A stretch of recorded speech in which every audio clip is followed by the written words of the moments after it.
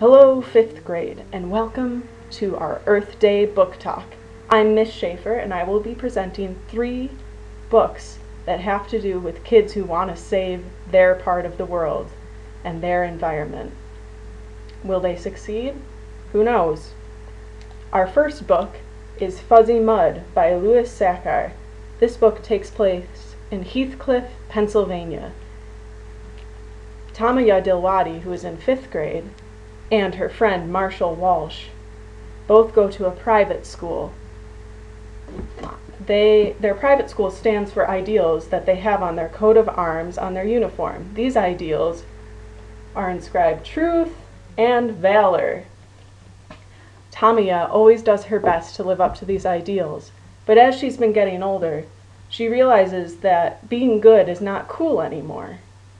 This puts a strain on her relationship with her best friend, Marshall Walsh, who is two years older than her. One day, Marshall decides that they're going to take the shortcut home through the woods, which are completely off limits. Tamaya does not want to break the rules. She's so scared of it. Little does she know that Marshall has been threatened by a much older and much meaner kid named Chad Hilligas who has just moved into town. Marshall wants to avoid a fight with Chad, so they cut through the woods. As they're walking through the woods, it gets scarier and scarier for Tamaya. She keeps asking Marshall what they're doing there when suddenly Chad appears and he starts beating Marshall up. Tamaya does her best and tries to protect her friend Marshall and slams a fistful of mud into Chad's face.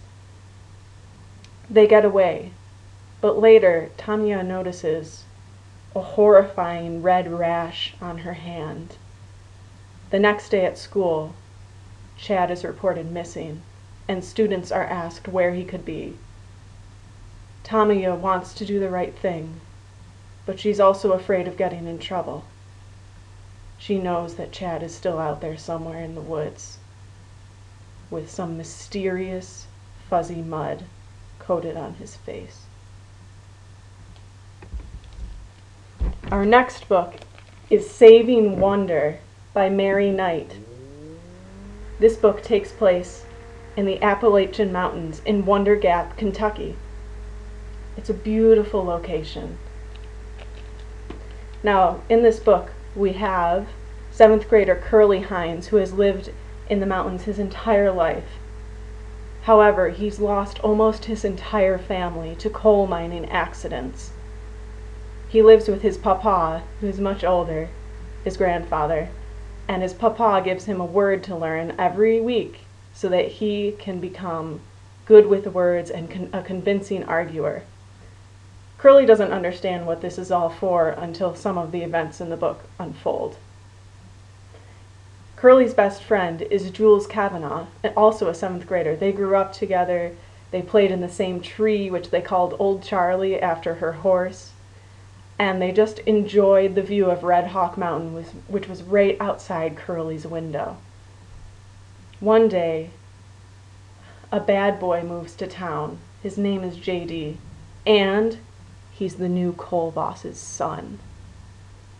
Jules is really interested in JD right away, but at this point, Curley is feeling a little bit more interested in Jules as a girlfriend he doesn't know how to feel. He wants to let her be able to hang out with JD, and he also doesn't want to hate JD. So, Curley tends to pull out his harmonica and play a lonesome song to make himself feel better in these situations.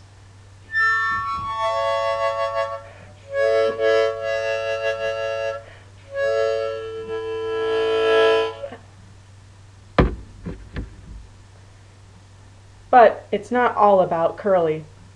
One day, Curley realizes that the new coal boss is fixing to take off the top of the mountain in Wonder Gap.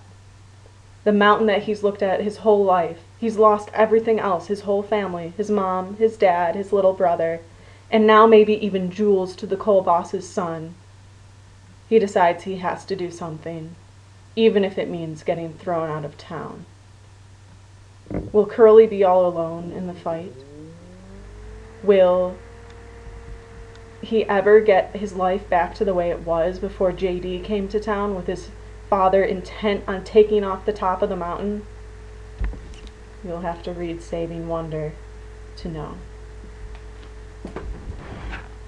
Our last book is Hoot by Carl Hiaasen.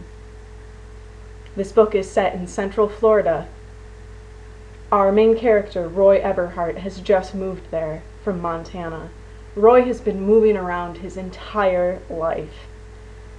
He spends a couple years here, a couple years there, because his father works for the government in some mysterious law enforcement job and is always getting promoted and moved around the country.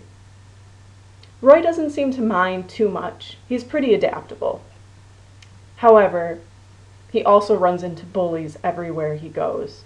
So, when he moves in to Coconut Cove, Florida, he's missing Montana, and there's a new bully, of course, named Dana Matherson. Dana's none too smart, however, so Roy doesn't hate him. Uh, he kind of just tries to avoid him. Dana ends up giving him horrible nicknames like Cowgirl and Roy Rogers Eberhardt and even Tex.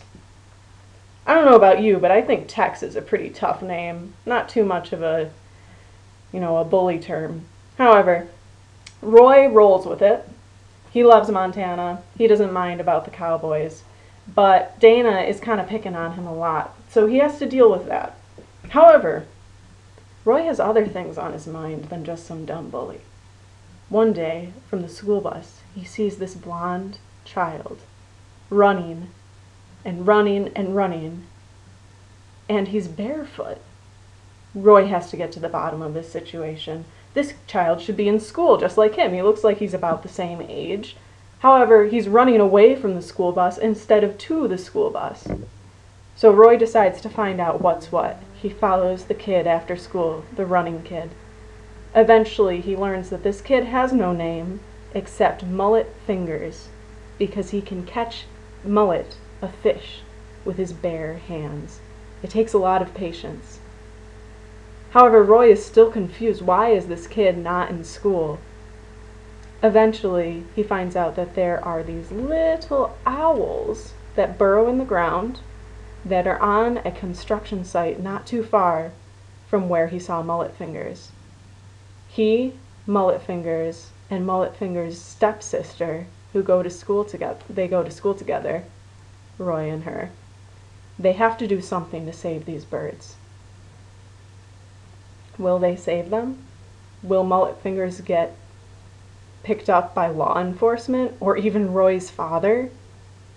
You'll have to read Hoot to find out.